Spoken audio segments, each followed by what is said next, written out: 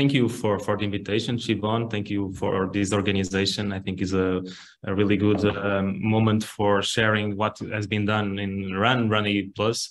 Um, this is also something that we have been, uh, uh, and this presentation that we have been working from the beginning and trying to reach out.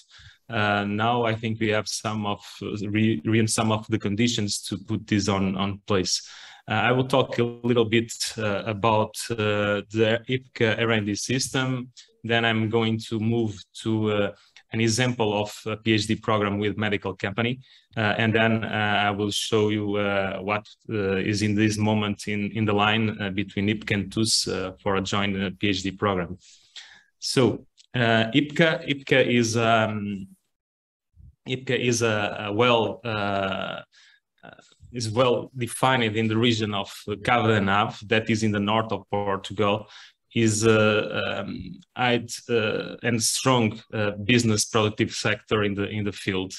Uh, we have a lot of connections with companies, uh, promotion projects, in internships, in courses that are running in the companies. Uh, and we are have a campus that is in Barcelos, the main campus, and we are spread now for more five cities of, of this region.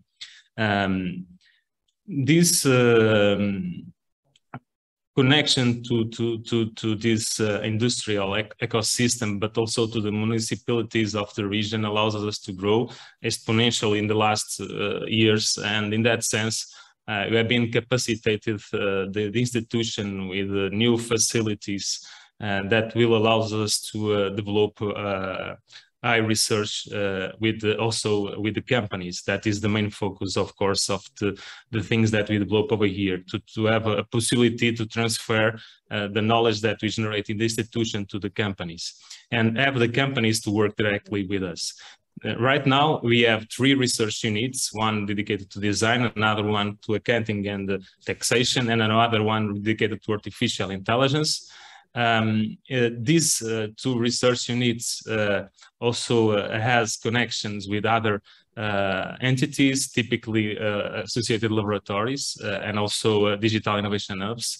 And we have another structure that combines the research that we perform also with the, the companies. That is a valorization and innovation center that, that we develop. We also have different um, colleagues and researchers that are not uh, connected to these three research units, but they are uh, connected to other research units spread for all uh, different research units in Portugal. Um, this growing, especially of the artificial intelligence laboratory that I coordinated, uh, has been allows us to create some possibilities. And one of that possibilities is this connection with LASI, that is uh, uh, an intelligent system associated laboratory that combine the main Portuguese uh, research units uh, that are working on artificial intelligence and intelligent systems.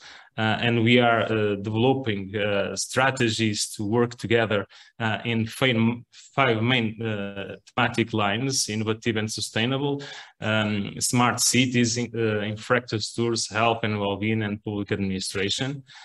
we also have a connection and uh, with a, a, project that just started uh, this year uh, that is Attract uh, Digital Innovation for artificial intelligence and also high performance computing, uh, also with a strong focus uh, with the industry that will potentiate the creation of projects with companies where they could test uh, initial ideas or proof of concept ideas with uh, different research units spread for all the Portuguese landscape of the research units that works on these fields. Uh, but regarding uh, now and being more focused on the on the uh, on the artificial intelligence laboratory, um, we have a, a, research unit over here that combines uh, different types of researchers from different fields um, that combines uh, robotics, uh, design, um, cognitive systems. Uh, and what we try to develop in our system is augmented uh, the knowledge uh, that is available for the, the people. Um, that knowledge could be augmented through just for virtual systems, but also systems that combine uh, physical systems with virtual um, systems. We are organized uh, in three main uh, research areas, intelligent systems, human AI collaboration, and robotics that we apply to health, industry, environment, and security. Uh, I will talk about uh, essentially this uh, field of application, health, that is the, the main field that I'm working on as researcher. Um, in this field, uh, we uh, try to uh, improve the medical diagnosis uh, using different types of image modalities. Uh, we also try to enhance smart surgical rooms uh, that combines robots, image modalities, tracking systems. we are also working on ways to better correlate the illness with the patient evolution, and also, and because we believe on that, in pipelines that uh, uses uh, the patient as a central element and development of personalized services for, for medicine. And based on this knowledge that we develop from different years, uh, we have the opportunity to uh, to uh, to develop a system. Um, and this system it was developed in partnership with the School of Medicine of the University of Minho. Um, we work especially in applied research. In that sense, we look at the problem, in this case, the problem of a physician uh, in a certain pathology that is kidney stones. Uh, they are facing a, a, problem that is typically the navigation system to, to drive a needle uh, until the, the kidney. Uh, typically, they use X-ray uh, to uh, to guide these type of interventions that provides radiation for and the, the physician, but also this also provides the radiation for, for the patient. Uh, um, and is a really, really tricky process because typically the X-ray machine provides a 2D information of, uh, of the organ, and we need to navigate the needle in a 3D environment. Uh, in that sense, uh, we develop a system um, based in electromagnetic sensors, microelectromagnetic sensors that is able to track in real time the position of the tip of the needle, but also the, the position of the kidney. Uh, and for that, we apply a sensor through a ureterorenoscope that goes to the retina until it reaches the, the, the kidney. Uh, that is able to provide information of the location of the, the kidney inside the patient. This works like a GPS that is uh, established inside the body, and we can transmit that information for an interface. And then we develop uh, this interface um, that you can see here in the in the in the image uh, that is like a target where the physician should uh, should use to orientate the needle before he perforates the, the patient. And after he reaches a good orientation, he can start perforation while he's keeping the orientation. Uh, the results were uh, really impressive. Uh, we're able to uh, to uh, move from laboratory to animal tests and also for patients using these these systems.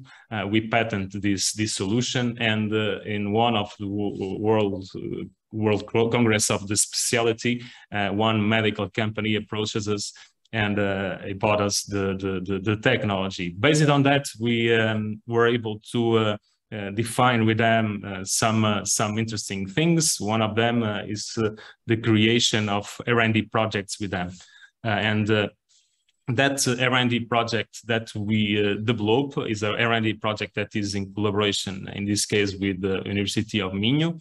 Um, this pr project has as partners the IPCA, University of Minho, and this medical company uh, that I cannot say the, the name. For, sorry for that.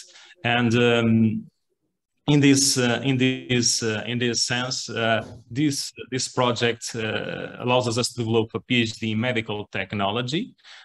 This PhD comprises a first year where the the the, the PhD students has different laboratory rotations and also uh, some classes that allows us to to uh, to get inside of a research scope. Uh, we are able to uh, hire six PhD students with this project that is totally financed by this medical company.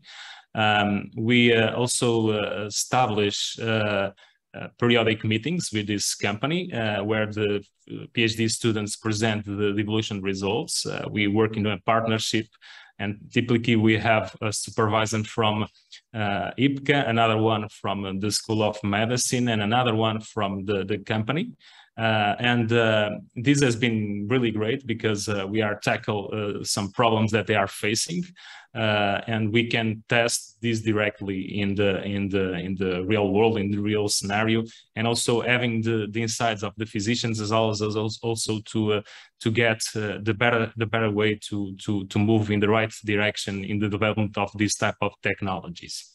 So inspired by this, and of course, uh, inspired by uh, by the getting know all of the colleagues that uh, we know in the in the in the run, uh, and this opportunity to spread also our network and try to create new and stronger uh, um, bridges between the, the institutions.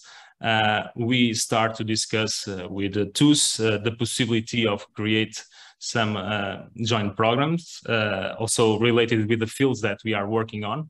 Uh, and uh, uh, of course, there there was a, a limitation, uh, and the limitation, the main limitation is for sort of the budget.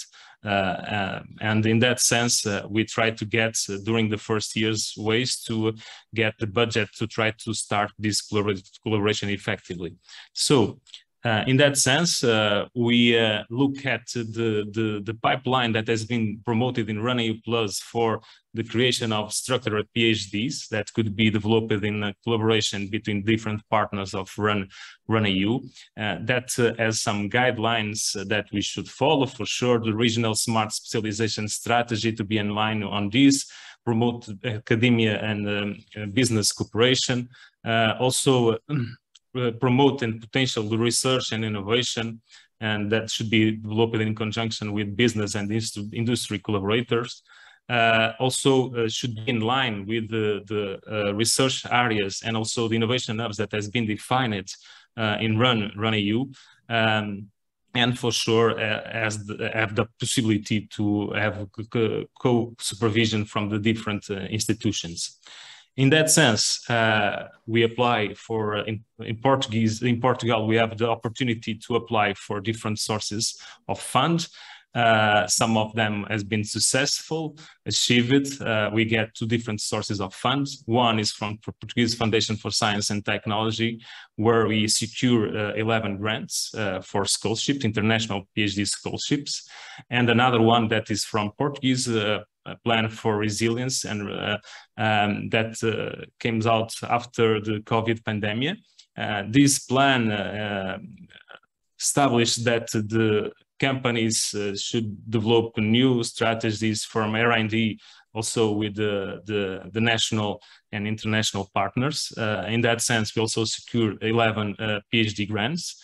Um, and uh, we are now able to, to, to define a set of uh, PhD programs that are aligned uh, with um, with the RunEU Innovation Hubs, in this case for future and sustainable industries, and also uh, the, the some of the RunEU research areas as uh, design, material, material thinking, cybersecurity, smart and sustainable and advanced manufacturing, climatic changes, and also health and well-being. And we define uh, these uh, six uh, uh, fields uh, where the grants could fit. Um, and we have 11 grants that where the topic has been already set uh, with the companies, and these will be grants that has been that is going to be developed and programs that will be developed with companies we are talking about medical companies, but also uh, industrial uh, um, companies uh, that works, for instance, in uh, cycling, and another ones that work in the uh, automobile sector. Um, and we have another 11 grants uh, that we are going to start to develop a set of meetings with colleagues from TUS to define some R&D projects for these for these students. So in that sense, we try also to look at uh, what has been designed in the RunEU Plus as a structure for a possible uh, PhD program, and also, of course, the the the the, the TUS um, structure because uh, in Portugal, the polytechnical institutions are not uh, in this moment are not able to provide the PhD degree. So we need to, to find a partner uh, and try to see how we can combine, combine our efforts. And we try to, to we are thinking in, in, the, a structure that is similar to this that you are seeing in this, in this board over here, uh, where uh, we are going to leave some possibility and flexibility for, for, for the students. And we are moving and putting here some of the things and the good things that run has been accomplished in the last in the last uh, last two years, especially the short advanced programs. So so the students sure will have uh, to to create a literature review, a thesis plan, but we also uh, uh, will open the possibility to valorize the participation in international conference, also the publications in international journals, also um, internships, and because this is in collaboration with companies, internships, uh, of course, in the topic of their PhDs in the companies and also some laboratory rotations in the different RunEU partners uh, to, uh, for instance, to get access to one of the facilities that is uh, unique in one of these of, of the partners of So right now, this is what it is in the, the pipeline. Um, is uh, is uh, we expect to to to start uh, this process in the beginning of the next year.